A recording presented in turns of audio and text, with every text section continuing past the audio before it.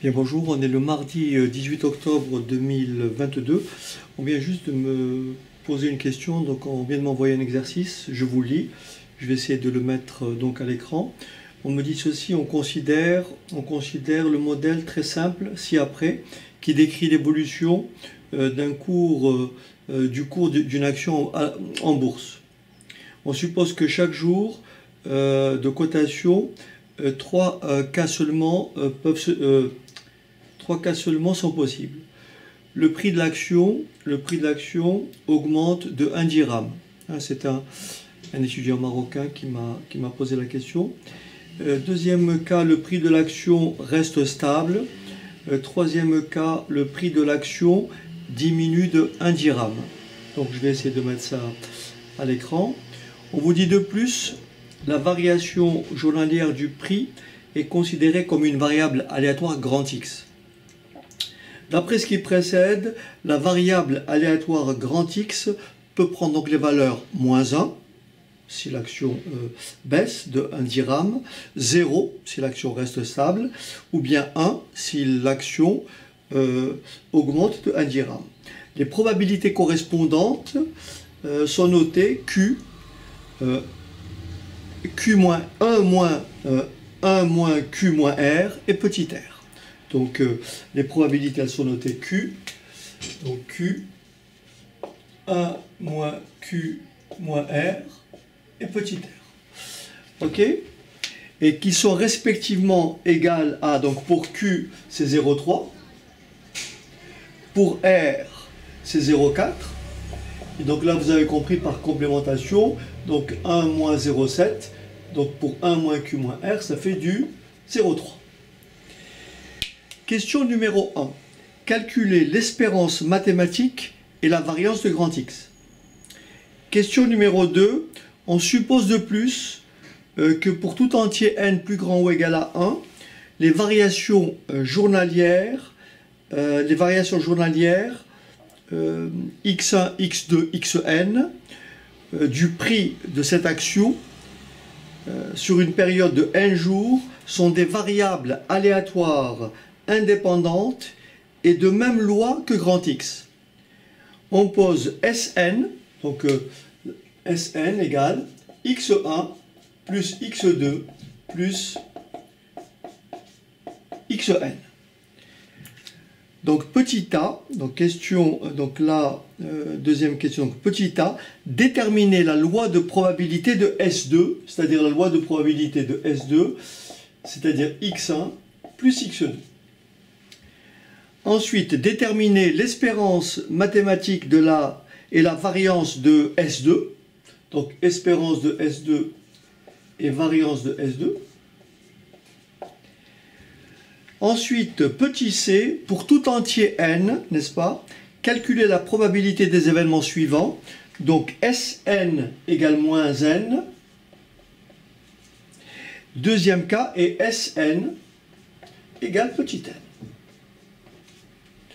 Ok donc euh, encore une fois, je, vais, euh, je, laisse l'énoncé au tableau. Vous posez la vidéo si vous voulez. Et donc je vais me lancer dans le, dans le corrige. Alors bien entendu, j'espère que... Euh, je viens juste de recevoir le mail. Donc j'espère que je ne vais pas faire d'erreur. Alors en tous les cas, vous serez indulgent comme d'habitude. Alors on y va. Donc premièrement, calculer l'espérance mathématique. Alors on va d'abord déterminer la loi de grand X. Donc X peut prendre trois directions soit moins 1, soit 0, soit 1. Donc pour déterminer l'espérance mathématique et la variance de grand X, je dois déterminer la loi de probabilité de grand X. Alors regardez bien. Ici, très simplement, on a affaire à une, succession d'épreuves indépendantes. Là, je travaille sur combien de jours? Là, je travaille sur, euh, sur euh, calculer l'espérance et la variance de la variable. Ah oui, d'abord au départ, donc j'ai la variable x qui peut prendre en fait, ça c'est simplement pour une journée. Donc xi peut être égal à soit moins 1, d'accord, soit 0, soit 1. Ça c'est la loi de probabilité de grand X. Et donc ici, pour calculer l'espérance mathématique, il faut d'abord me calculer la probabilité de x égale xi. Pour calculer l'espérance, je vais calculer x, xi, p de x égale xi. Alors je préfère la pour la variance, je préfère la formule de Koenig qui est beaucoup plus rapide que celle qui consiste à calculer la somme des PI, n'est-ce pas, xi moins l'espérance de grand X, le tout au carré. Je, préfère cette formule-là qui est beaucoup plus rapide quand on fait le calcul manuellement. Donc x au carré PI moins l'espérance de grand X, le tout au, carré. Ok? C'est-à-dire ce qu'on appelle l'espérance de grand X2 moins l'espérance de grand X le tout au carré. Voilà. Je préfère cette seconde formule à celle-ci. C'est ce que je vais appliquer, alors on y va. Donc j'ai ici xi, pi, ça me permettra de déterminer l'espérance. Et là je vais écrire xi carré, p de grand x égale xi. Voilà. Alors, les probabilités qu'on m'indique, la probabilité que le, que le cours baisse est de, on a dit 0,3.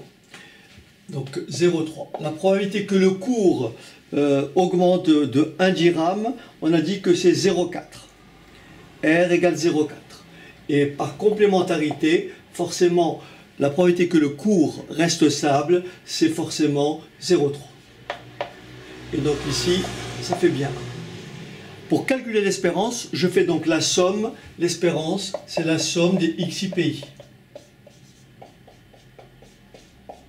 Donc ça me fait moins 0,3. Plus 0.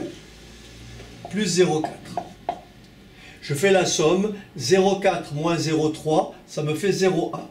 Donc l'espérance mathématique de grand X est égale à 0,1. C'est-à-dire que le cours de l'augmentation moyenne, c'est-à-dire l'évolution du cours en moyenne, est de 0,1 dirham. Maintenant, on va calculer la variance de grand X.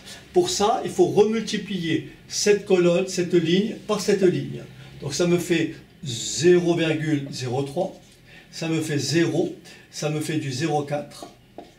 Et le résultat, ici, ça me fait donc du 0, euh, alors euh, que je ne dise pas de bêtises, 0,3, euh, 0,4, donc ça me fait tout simplement, pourquoi 0,3, 0,4 Moins 1 par 0,3, c'est tout simplement du 0,3. Résultat des cours, ça fait du 0,7. Donc la variance de grand X est tout simplement égale à la somme des xi carré pi moins l'espérance de grand X, le tout au carré.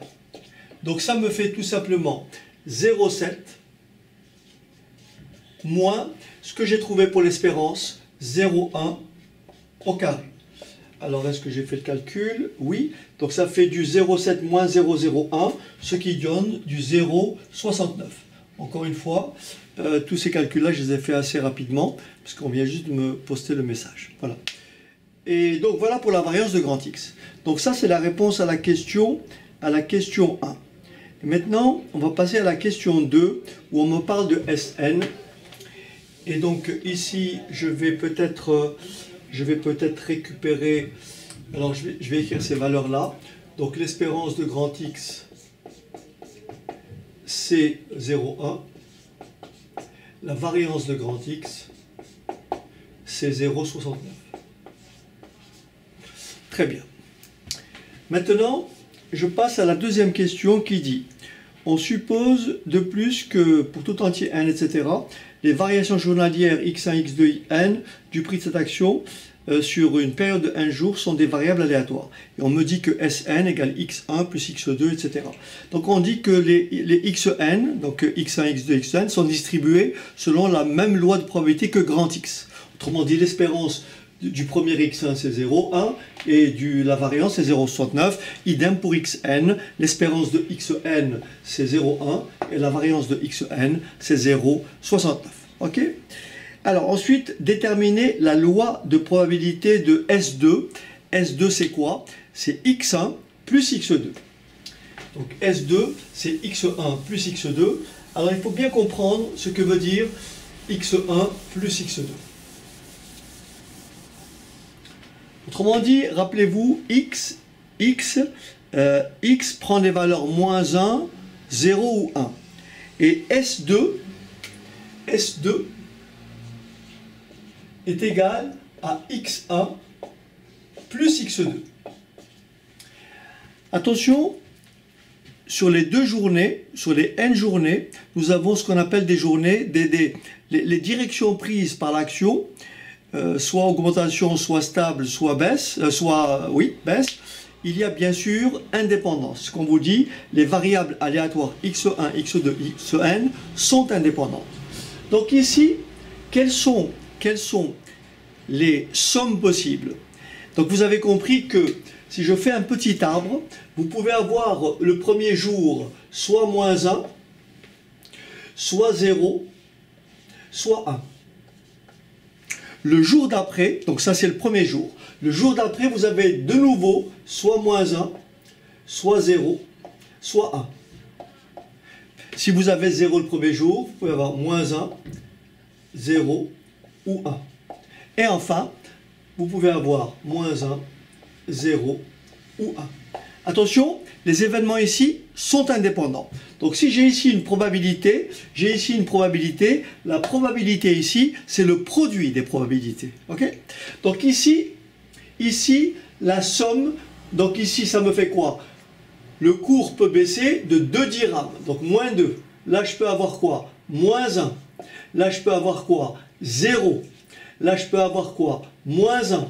Là je peux avoir quoi? 0. Là, je peux avoir une somme égale à 1. Je peux avoir une somme égale à 0. Je peux avoir une somme égale à 1. Je peux avoir une somme égale à 2. Alors maintenant, ce qu'il faut savoir, donc ça c'est le résultat, c'est la somme. Mais vous avez ici les probabilités. Rappelez-vous, là, pour moins 1, on avait dit du 0,3. Donc ici, du 0,3. Pour, euh, pour R, pour 1, on a dit que c'était du 0,4. Et donc là, c'est du 0,3. Et bien sûr, je ne vais pas les reproduire 0,3, 0,4. Voilà, 0,3, 0,4, 0,3, 0,3, 0,4, 0,3, 0,3, 0,4. OK Donc, la probabilité, ça qu'il faut bien, on me demande la loi de probabilité de S. Donc, les valeurs prises par S sont, les valeurs prises par S sont soit moins 2, soit moins 1, soit 0, soit 1, soit 2. Ça, ce sont les valeurs prises par grand S. Donc, quelle est la loi de probabilité de grand S? C'est la probabilité associée à chacune des valeurs prises par grand S. Maintenant, je ne vais pas faire tous les calculs, je vous donne simplement quelques indications. Admettons que je veuille calculer la probabilité que sur deux jours, S peut être égal à une de ces valeurs. Si on me demande quelle est la probabilité que S soit égal à moins 2, je regarde, je regarde tous les résultats qui mènent à moins 2 il y a un seul résultat qui mène à moins 2. Pour avoir moins 2, il faut que le premier jour, il y ait une baisse de 1 dirham et que le second jour, il y ait une baisse de 1 dirham. Mais la probabilité pour que le premier jour, il y ait une baisse de 1 dirham est de 0,3. Idem pour le second jour parce qu'il y a indépendance. Et donc la probabilité que S égale moins 2, c'est 0,3 fois 0,3, ce qui me donne tout simplement 0,09. Maintenant, quelle est la probabilité, par exemple, alors faites attention ici, quelle est la probabilité pour que le cours sur deux jours soit stable? Ça veut dire quoi stable? Ça veut dire P de S égale 0. Alors faites attention. Pour avoir 0, je peux avoir 0 comment? Je peux avoir 0 en ayant moins 1 le premier jour et 1 le second jour. Je peux avoir 0 en ayant 0 stable le premier jour et stable de second jour, ou je peux avoir moins 1 en ayant 1 le premier jour et moins 1 le second jour. Et vous le voyez ici. Regardez les zéros. Vous avez un 0 ici, vous avez un 0 ici, et vous avez un 0 ici. Le 0 ici, c'est quoi? C'est moins 1 et 0, ou bien 0 et 0, ou bien 1 et 0. Et donc, si on calcule la probabilité, on fait la somme des trois. Mais il se trouve que moins 1 et 0 et 0 et moins 1, c'est le même nombre. Regardez, moins 1 et 0, c'est 0,3 fois 0,3. Mais 0 et moins 1, c'est pareil, c'est 0,3. Pardon, euh, moins 1 et 0, c'est 0,3 et 0,3. Et 0 et moins 1, c'est pareil, 0,3 et 0,3. Donc on y va. P de x égale 0. Pour avoir 0, on peut avoir, on peut avoir moins 1 et 0, c'est-à-dire 0,3, j'écris, hein, 0,3, moins 1 et 0. Non, pardon, moins 1 et 1. Donc 0,3 fois 0,4. Et là, on va voir que 0,3 fois 0,4, je peux aussi avoir, là j'ai moins 1 et 1, mais je peux avoir 1 et moins 1. Et donc je vais retrouver la même chose. Donc ici, j'ai le premier 0 qui est là. J'arrive à ce 0 là, c'est 0,3 fois 0,3, puisque c'est 0,3, c'est 0 le premier jour et 0 le second jour. Donc plus 0,3 fois 0,3. Et là, vous avez compris, j'avais moins 1 et 0, euh, moins 1 et 1, mais j'aurais pu aussi avoir 1 et moins 1. Donc ça me fait de nouveau 0,4 fois 0,3.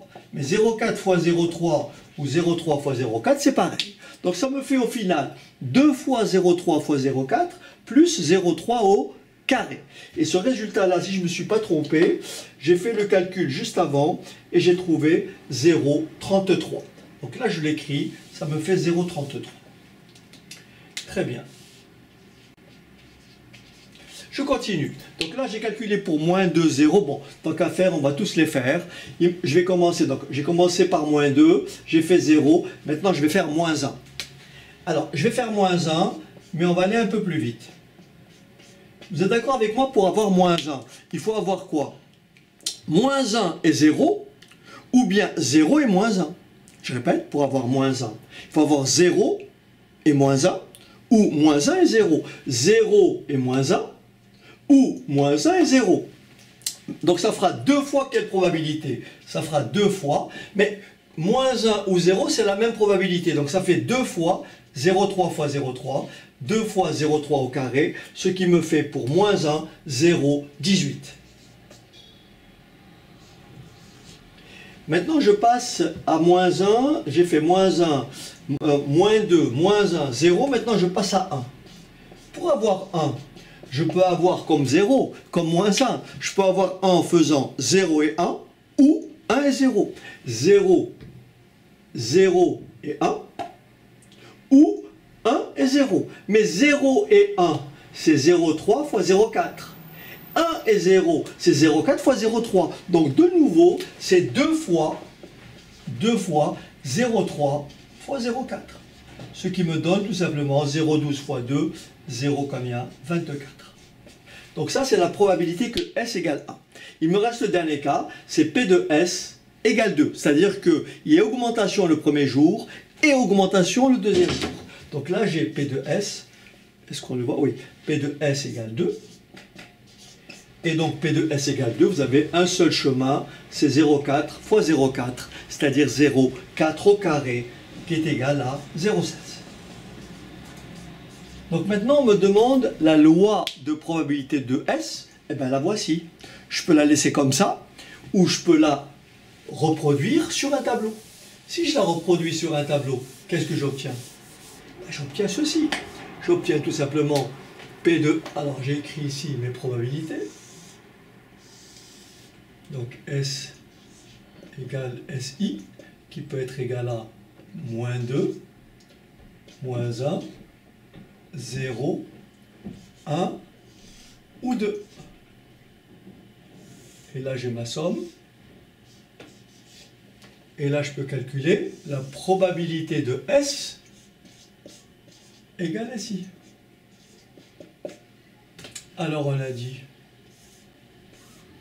on a dit, pour moins 2, 0,09. Pour moins 1, 0,18. Pour 0, 0,33. Pour plus 1, 0,24. Et pour plus 2, 0,16. Et là, j'ai un total qui est égal forcément à 1. alors attention à la subtilité. Bien sûr, comme j'ai ma loi de probabilité, on me demande après calculer l'espérance mathématique et la variance. Alors, il y a deux possibilités. Ou tout simplement, naturellement, je dis, tiens, je vais appliquer la formule en faisant, en faisant, mais je ne vais pas le faire, hein. en appliquant la formule, en faisant, tiens, calculant l'espérance mathématique, et je fais espérance. Je vais le faire quand même. Je vais le faire. Espérance mathématique, je calcule, et je fais SI, SI, que multiplie P de S égale SI. C'est-à-dire je fais moins 2 par 0,09. Moins 0,18. Ensuite, je fais moins 1 par 0,18. Ensuite, je fais 0. Ensuite, je fais 0,24. Ensuite, je fais 0,32. Je fais le total et je trouve, et je trouve, euh, j'ai pas fait le total, j'ai pas fait le total, moins 0,36, alors excusez-moi, je vais, chercher ma calculatrice, j'ai pas envie de poser l'opération, je vais faire le total, alors, alors donc, euh, moins 0,36, euh, plus 0,24, euh, plus 0,32. Voilà, j'ai fait ça. Donc là, j'ai trouvé un total égal à 0,2. Alors bien sûr, si je veux m'amuser à calculer la variance, comme tout à l'heure, je vais faire quoi? S, S i carré, S i carré, euh, P de grand S égale SI, c'est-à-dire je vais remultiplier, je vais remultiplier ça par ça, ça par ça, moins par moins ça fait plus, donc ça fait 36, ça fait 0,36, plus 0,18, plus 0, plus 0,24, euh, plus 0, euh, alors 0,64. Encore une fois, je n'ai pas testé mes calculs, donc je, je alors, 0,64 plus 0,24 plus 0,18 plus 0,36 et ça me fait 1,42. Encore une fois, résultat sous toute réserve, 1,42. Donc je peux conclure quoi? Que l'espérance de S, c'est 0,2. La variance de S, c'est 1,42 moins 0,2 au carré. Alors 1,42 moins 0,2 au carré, 1,42 moins 0,2 au carré, ça fait 1,38. 1,38. Très bien. Encore une fois, j'espère ne pas avoir fait d'erreur. Donc maintenant, ce calcul-là est tout à fait licite. Mais, mais si vous faites ça, vous n'intégrez pas une donnée très intéressante qui disait préalablement qu'on est en présence de variables aléatoires indépendantes et que toutes les variables aléatoires xi avaient, avaient la même distribution que grand X. Et donc, on a établi précédemment que l'espérance de grand X, donc là, si vous permettez, je vais libérer le tableau, on a établi précédemment que l'espérance de grand X, l'espérance de grand X, c'est 0,1. On a établi que la variance de grand X, c'est 0,69. Et on vient d'écrire que S2 égale X1 plus X2. Ben, J'aurais pu éviter le tableau en appliquant, je vous renvoie à une séquence que j'ai appelée opération sur les variables aléatoires. C'est un cours qui est incontournable et très utile lorsqu'on a affaire à ce type d'exercice. Donc je vais appliquer mon cours. Ici, x1 et x2 sont indépendantes. L'espérance de S2, l'espérance de S, donc là je l'ai appelé S, mais c'est en fait S2, d'accord? Donc l'espérance de S2, c'est quoi? C'est l'espérance de x1 plus l'espérance de x2. Mais qu'est-ce qu'on sait de x1 et de x2 x1 et x2 sont distribués selon la même loi que x. Ça veut dire que l'espérance de x2, c'est celle de x1. Et l'espérance de x2, c'est celle de x, pardon. Donc là, qu'est-ce que j'ai? J'ai tout simplement deux fois l'espérance de x. C'est-à-dire j'ai deux fois 0,1. Et je me retrouve avec le 0,2. Beaucoup plus rapide que faire le tableau. D'accord C'est ça le piège en fait. C'est pas faux de faire le tableau, mais c'est mieux de procéder ainsi. Et maintenant, qu'en est-il de la variance Faites attention. Les variables aléatoires sont indépendantes. Si elles n'avaient pas été indépendantes, on m'aurait donné une covariance, ce qui n'est pas le cas ici. On ne m'a pas donné de covariance, je n'ai pas les moyens de la calculer, je n'ai pas de coefficient de corrélation entre les variables. Par conséquent, l'information, les variables xi sont 2 à 2 indépendantes, m'autorise à écrire la formule suivante la variance, dans le cas de variables aléatoires indépendantes, la variance de S2, la variance de S2 est tout simplement égale à la variance de XA plus la variance de X2. Si les deux variables aléatoires x1 et x2 n'avaient pas été indépendantes, j'aurais rajouté plus 2 fois 1 fois 1 covariance de x1 et x2. D'accord? Ce qui n'est pas le cas. Or, la variance de x1, c'est pareil que la variance de x, puisque c'est la même loi, plus variance de x. Et la variance de x, c'est combien? On avait trouvé combien? 0,69. Donc ça fait tout simplement 2 fois 0,69. Et 2 fois 0,69, ça fait bien 1,38. J'ai beaucoup de chance, j'aurais pu faire une erreur, ça m'aurait embêté parce qu'il aurait fallu que je refasse tout. Donc là, ça colle. Donc voilà la réponse à la question, à la question de 2b. Euh, Maintenant, je passe à la question 2c. On me dit ceci. Donc là, je viens d'établir ça, il n'y a pas de problème. On vient de me dire ceci. On vient de me dire ceci. Euh, pour tout entier naturel L, calculer la probabilité des événements suivants. Calculer la probabilité, regardez bien, calculer la probabilité que Sn soit égal à moins n. Ok Probabilité que Sn égale moins n. Si vous faites un petit résumé tout à l'heure, lorsqu'on a eu deux jours, on a pu calculer probabilité que le, le cours chute le premier jour et chute le deuxième jour, ce qui a conduit à un cours égal à moins 2. Mais pour arriver à un cours égal à moins n, il faut qu'il ait chuté le premier jour, le deuxième jour, le troisième jour et le énième jour. Autrement dit, la probabilité que Sn soit égal à moins n, c'est tout simplement la probabilité que x égale à moins 1 le premier jour. Que multiplie la probabilité que x égale à moins 1 le deuxième jour? And so on, jusqu'à bien sûr la probabilité que x égale à moins 1 le énième jour.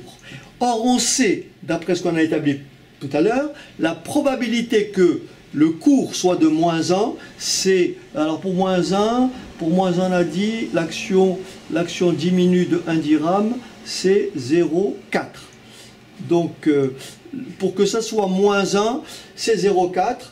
J'espère que j'ai pas... Euh, alors, vous avez compris, j'ai inversé, mais vous m'en voudrez pas j'ai inversé mes, dans mon tableau, je lis mon tableau, j'ai écrit pour moins 1,03. J'ai confondu l'augmentation et la diminution. Donc en fait, moi je suis parti de la probabilité qu'elle diminue, c'est 0,3. Et la probabilité qu'elle augmente, c'est, euh, comment dirais-je, c'est 0,4. Euh, euh, voilà, j'ai fait une petite erreur de, de lecture d'énoncé. C'est maintenant que je réalise. Donc là, la question est, donc moi je vais répondre en fait, je vais corriger ce que j'ai fait pour avoir la bonne réponse ici parce que c'est important. Donc ici, je, rappelle, euh, la probabilité que x, d'après l'énoncé, hein, la probabilité que x égale à moins 1, c'est-à-dire la probabilité que l'action diminue, c'est pas 0,4, euh, c'est pas 0,3 comme je l'ai écrit, mais plutôt 0,4. Et la probabilité qu'elle augmente, c'est 0,3. D'accord? Voilà, donc je, je, corrige ma lecture, je l'ai sous les yeux, je viens, de, je juste de recevoir le, sujet que j'ai, je lui ai même demandé de m'envoyer une espèce de photo, j'ai demandé de le mettre sur, Word afin que je le mette à l'écran. Donc là, vous, euh, quand vous relirez le sujet, faites attention, j'ai bien, euh, bien euh, inversé, mais ça ne change rien à, mes lois de probabilité, hein. ça ne change rien mes lois de probabilité, il suffit d'adapter mon tableau. Euh, j'avais écrit, voilà comment j'ai fait mon tableau, j'ai fait tout à l'heure moins 1, oui, j'ai fait moins 1, et là j'ai écrit 0,3. Donc là il faut faire moins 1, 0,4, il faut faire 0, 0,3, et il faut faire 1, 0,4, ok? D'accord? 1, 0,3. Alors, donc là je, je, fais, je fais une volte-face, là je, Là, je, m'adapte à l'énoncé. Donc, pour avoir, pour avoir moins n, pour perdre, pour perdre moins n dirhams, il faut avoir perdu tous les jours. Donc, c'est la probabilité de quoi? C'est la probabilité que le premier jour, ça soit moins 1, le deuxième, le troisième. Ce qui fait au, au total, la probabilité que Sn égale moins n, c'est 0,4 à la puissance n. D'accord Et bien sûr, la probabilité, après on me demande la probabilité que Sn égale à petit n. Et dans ce cas-là, P de S égale n, ça veut dire que le premier jour, c'est le premier jour ça augmente, le deuxième jour ça augmente, donc c'est P de x égale 1 fois P de x égale 1 fois P de x égale 1. Bien sûr, répéter n facteur, ça fait 0,3 à la puissance n. Donc je répète, P de Sn égale moins n, c'est 0,4 à la puissance n, et P de Sn égale n, 0,3 à la puissance n. Alors que tout à l'heure, quand j'avais calculé P de S égale moins 2, hein, vous avez compris j'espère, P de S égale moins 2, et je me rappelle, voilà, je l'ai sur la feuille, j'ai écrit 0,3 au carré, et j'ai écrit 0,09. Mais en fait, j'ai mal posé mon problème ici, c'est pas 0,3 qu'il faut écrire, mais plutôt 0,4 mais ça ne change rien à tout, le raisonnement. Voilà, j'espère que ma séquence a été utile et je vous dis donc euh, n'hésitez pas à commenter, n'hésitez pas à partager et à très bientôt. Au revoir.